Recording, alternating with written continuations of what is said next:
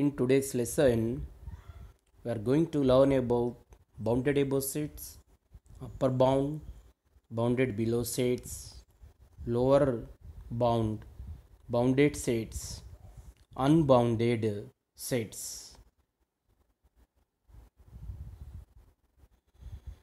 Bounded above set, upper bound. Let S be a non-empty subset of R and U be a real number. If x less than or equal to u for all x belongs to S, then u is uh, defined as an upper bound of S and S is defined as bounded above set.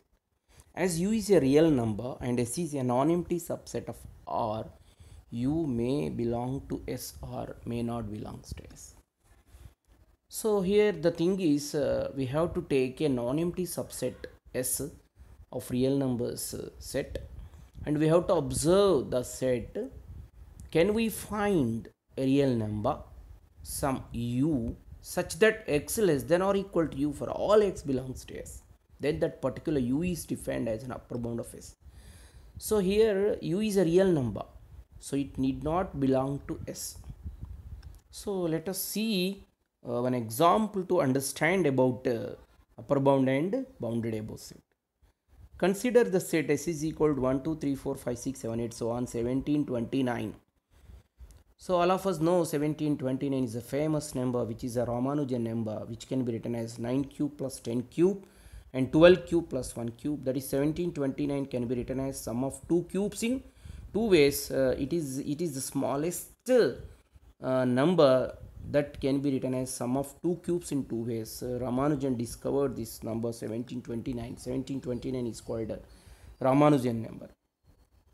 Here obviously S is a non-empty subset of R because it contains 1729 elements. It is easy to observe that every element of S is less than or equal to 1729. So as per the definition of upper bound 1729 is an upper bound of S.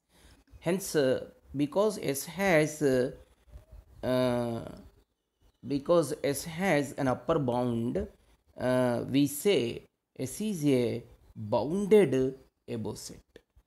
Here S is a finite set. So we can uh, conclude that every finite set is bounded. Because in a finite set we can uh, uh, find whether all elements less than or equal to some particular element or not. One more example, uh, let n is equal to 1, 2, 3, 4, so on. You know n is the set of all natural numbers. So it is uh, endless set. Uh, we we go on uh, writing, we get as many natural numbers as we can. So here there exists no real number m such that x less than or equal to m for all x belongs to n. Therefore n has uh, no upper bound. Because n has no upper bound, n is not bounded above set. If you take whole numbers, just only one uh, number is uh, more than the natural numbers, that is 0 will be there in W, more than n only 0 will be there. So similarly, W is equal to 0, 1, 2, 3, 4, 5, so on, has no upper bound because uh, same, we can't find a real number m such that uh, x less than or equal to m for all x belongs to W. So W has no upper bound so W is not uh, bounded above set. Now you take Z minus the set of negative integers. Z minus is the set of negative integers whereas Z plus is the set of positive integer which is equal to n. In Z minus we are considering uh, actually it is an infinite set because uh, where from which number Z minus starts uh, we don't know so, so on to minus 5, minus 4, minus 3, minus 2, minus 1. We have taken z minus. Here x less than or equal to minus 1 for all x belongs to z minus. Therefore, minus 1 is an upper bound of z minus because all elements of z minus are uh, less than minus 1 only minus 1 equal to minus 1. So, by definition z minus is a bounded above set. Any real number greater than minus 1 is also an upper bound of z minus because if you take 0 which is greater than minus 1 x less than 0 for all x belongs to z minus. Therefore 0 is also upper bound uh, suppose you take 1 which is uh, more than minus 1 here x is less than 1 for all x belongs to z minus. 1 is also upper bound. So like that uh, minus 1 is upper bound 0 upper bound 1 upper bound 2 upper bound. So any number greater than minus 1 is also upper bound of z minus so z minus has infinitely many upper bounds. Naturally if you take any set if you got one upper bound then any number greater than that upper bound is also an upper bound. So whenever any bounded above set uh, you take any bounded above set it has infinitely many upper bounds. So if you take a non-empty subset of R, if it if it has an upper bound, uh, definitely it has infinitely many upper bounds because any real number greater than an upper bound is also an upper bound. That thing we have to observe. The sets Z, which is uh, so on to minus 5, minus 4, minus 3, minus 2, minus 1, 0, 1, 2, 3, 4, 5, 6. And the set Q, P by Q such that PQ belongs ZQ is not equal to 0 and uh, GCD of PQ equal to 1 and q dash or they don't have upper bounds because we can't find a real number m such that x less than or equal to m for all x belongs to z or x belongs to q or x belongs to q dash or x belongs to r. So I write the same thing here because there does not exist m belongs to r such that x less than or equal to m for all x belongs to z, q, q dash or. Therefore z, q, q dash or are not bounded above sets. Consider the set S is equal to 1 by n such that n belongs to n. It is an infinite set. Whenever you take n equal to 1, uh, the element is 1 by 1, 1. When you take n equal to 2, the element is 1 by 2. And next uh, n equal to 3, 1 by 3, 1 by 4, 1 by 5, so on. Therefore, uh, you observe that uh, this is a decreasing set. First element 1, next 1 by 2, next 1 by 3, next 1 by 4, next 1 by So ultimately the biggest element is 1 in the set S. So every element of S is less than 1. The only one is equal to 1. Therefore x less than or equal to 1 for all x belongs to. Therefore uh, by definition 1 is an upper bound of S. Therefore S is a bounded above set. We observe that x is less than 2 also for all x belongs to n. Hence 2 is also upper bound. Here 2 is greater than 1. 2 is greater than 2 is upper bound. So whenever m is greater than 1, m is a real number, m is also upper bound for S. So S has infinitely many so I am explaining like this uh, whenever m greater than 1 1 is less than m but already x less than or equal to 1 so x less than or equal to 1 and 1 less than m for all x belongs to s. Therefore x less than m for all x belongs to s. Here m is an upper bound of s and m greater than 1 of course Therefore, any real number greater than 1 is an upper bound of for S. Here S has infinitely many upper bounds. Since any real number more than 1 is an upper bound of S. For this particular set, any real number greater than 1 is an upper bound of S. So S has infinitely many upper bounds. Consider the set uh, S is equal to n power minus 1 power n such that n belongs to n. If you take n equal to 1, 1 power minus 1 power 1 1 power minus 1 if you take n equal to 2 2 power minus 1 power 2 only 2 if you take n equal to 3 3 power minus 1 power 3 3 power minus 1 if you take n equal 4 4 power minus 1 power 4 4 like that. So 1 power minus 1 is 1 2 is uh, st is 3 power minus 1 1 by 3 4 5 power minus 1 1 by 5 6 7 power minus 1 1 by 7 so on here the set uh, has no upper bound. Why? Uh, because 1 there, 2 there, 4 there, 6 there, 8 will be there, 10 will be there, 100 will be there, 1000 will be there. So we can't find the bigger one among all the elements of S. So as uh, there exists no real number capital M such that x less than or equal to M for all x belongs to S. Therefore the set S is not bounded above set. Uh, consider the set S is equal to n power 1 by n such that n belongs to n. Uh, easy to observe that when n is equal to 1, 1 power 1 by 1, 1 is 1. n equal to 2, 2 power 1 by 2. n equal to 3, 3 power 1 by 3. n equal to 4, 4 power 1 by 4. n equal to 5, 5 power 1 by 5, so on. Uh, here n power 1 by n less than root 3 for all n belongs to n because n less than root 3 power n for all n belongs to n you observe. n equal to 1 1 less than root 3 power 1 1 less than root 3 okay. n equal to 2 2 less than root 3 square 2 less than 3 okay. n equal to 3 3 less than root 3 power 3 3 less than uh, root 3 power 3 3 root 3 nice.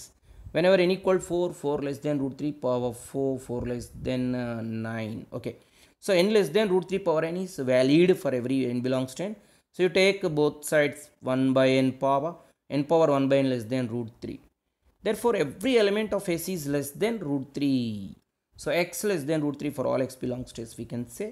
Therefore s has uh, an upper bound uh, root 3 uh, therefore s is bounded above set. Here s has infinitely many upper bounds because uh, naturally any real number greater than root 3 is also an upper bound of s greater than root 3 means greater than 1.732 approximately.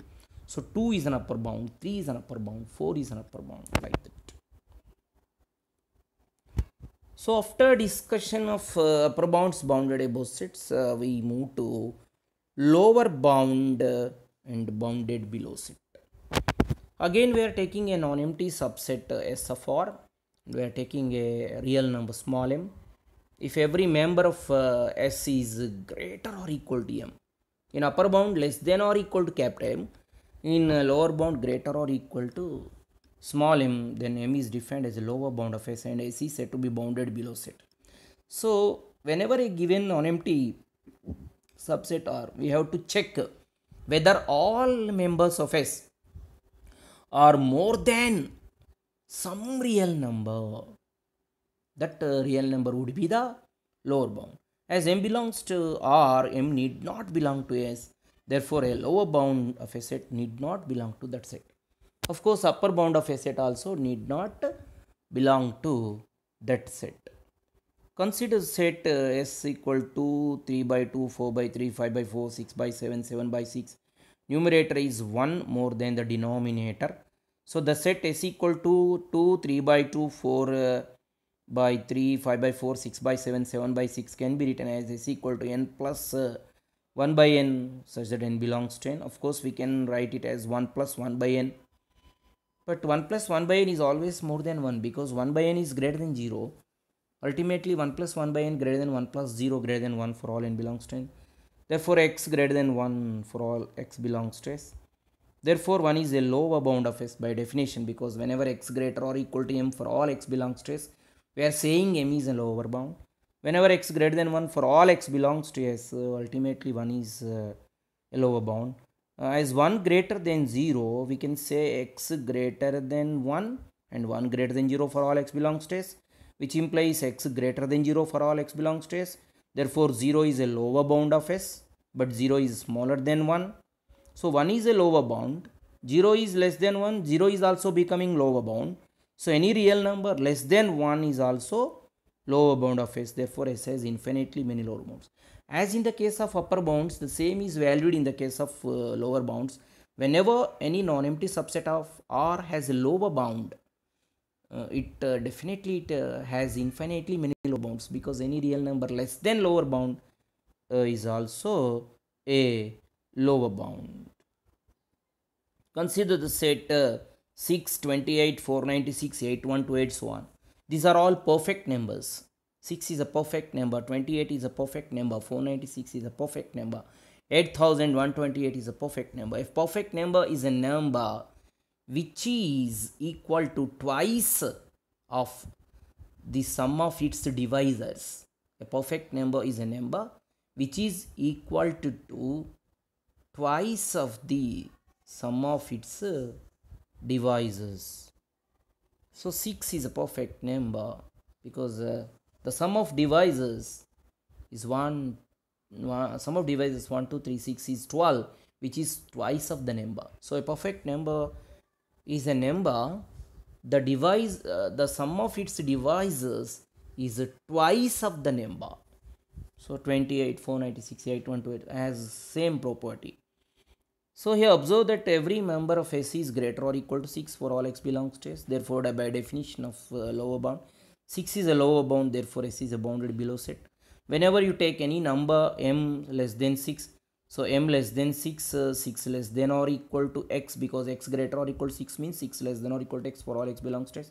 Therefore, x greater than m for all x belongs to S. Therefore, m is also becoming lower bound but m less than 6 therefore any real number less than 6 uh, is also lower bound of 6 uh, lower bound of s uh, therefore s has infinitely many lower bounds.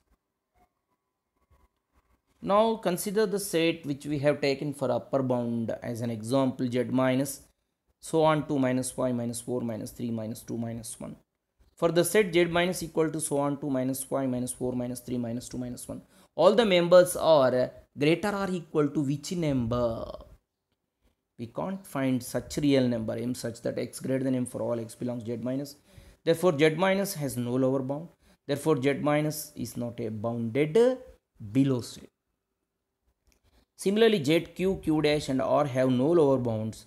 Hence z q q dash and r are not bounded below sets because we can't find real number small m such that x greater than m for all x belongs to z or x belongs to q or x belongs to uh, q dash or x belongs to r like that. So z q q dash and r are not bounded below sets now again the example uh, s is equal to 1 by n such that n belongs to n is equal to 1 by n such that n belongs to n s equal to 1 1 by 2 1 by 3 1 by 4 1 by 5 so on. So all the members of s are greater than which number is the question because all are positive numbers. 1 1 by 2 1 by 3 1 by 4 1 by 5 so any positive number is greater than 0 so we observe that x is greater than 0 for all x belongs to s. Uh, therefore 0 is a lower bound of s. Any real number less than 0 is also lower bound. As we said any real number less than lower bound is also lower bound. Any real number greater than upper bound is also an upper bound for the non-empty subset of R. Therefore, S has infinitely many lower bounds. Consider again uh, the example is again repeated here n power minus 1 power n such that n belongs to n. S is equal to n power minus 1 power n such that n belongs to n. S is 1 power minus 1 2, 3 power minus 1 4, 5 power minus 1 6, 7 power minus 1 so on. So S equal to 1, 2, 1 by 3, 4, 1 by 5, 6, 1 by 7 so on. So x greater than 0 for all x belongs to S. So x is a positive, uh, S is a, S contains all positive numbers. So they are all greater than 0. So 0 is a lower bound of S. Therefore S is a bounded below set. Any real number less than 0 is also lower bound. Because if you take minus 1, minus 1 is less than 0. But all the elements of S greater than minus 1. So any real number whatever you take less than 0 that is also becoming lower bound of S therefore S has infinitely many lower bounds. Consider the set again. The set is repeated. N power 1 by n such that n belongs to n. N is S, here S equal to 1 power 1 by 1 1 1 power uh, sorry 2 power 1 by 2 and 3 power 1 by 3 4 power 1 by 4 5 power 1 by 5 like that S is equal to 1 uh, root 2 and uh, cube root 3 4th root 4 we observe that x greater than 0 for all x belongs to S. Therefore, 0 is a lower bound of S because by the definition. Therefore, S is a bounded below set. Any real number less than 0 is also lower bound. We know this. S has infinitely many lower bounds. So, now the important uh, thing is uh, bounded set. So, what is a bounded set? A non-empty subset of R is said to be bounded if it is both bounded above and bounded below. Means you can find uh, real numbers u and uh, m such that m less than or equal to x less than or equal to u for all x belongs to s. I have taken here m1 m2 of course that is if there exist m1 m2 two real numbers actually m1 m2 such that m1 less than or equal to x less than or equal to m2 for all x belongs to s such that uh, then s becomes bounded set so all elements of S must be between two real numbers. That is the thing. Or if there exist uh, m belongs to R such that mod x less than or equal to m for all x belongs to S, then S is said to be a bounded set. Why? Because uh, mod x less than or equal to m for all x belongs to S means we know by modulus property minus m less than or equal to x less than or equal to m for all x belongs to S. So minus m is lower bound and capital M is upper bound so that S becomes bounded. So a set S is bounded if there exist two real numbers m1 m2 such that m1 less than or equal to x less than or equal to m2 for all x belongs to x or if there exists a positive real number actually here I, I written as m is a real number but positive real number m such that mod x less than or equal to m for all x belongs to S. So this is about bounded set and unbounded set. A unbounded set uh, is a non-empty subset of R which is not bounded above set or not bounded below set or neither above nor, be, nor bounded below set. So unbounded set means it may, may not be bounded above or it may not be bounded below or it may not be both. Not bounded above not bounded below. N is a uh, unbounded set because it has no upper bound. That is n is not bounded above set similarly w z q q dash and r are not bounded sets as these have no upper bound and no lower bound. That is these are not neither bounded below nor bounded above sets. For w z q q dash and r uh, bounded they are not bounded sets. Of course w is bounded below set but z q q dash and r they have no upper bound and they have no lower bound. Every finite set is uh, bounded. Example uh, solution. Let s is equal to a1 a2 a3 a4 so on an we are assuming s contains n elements.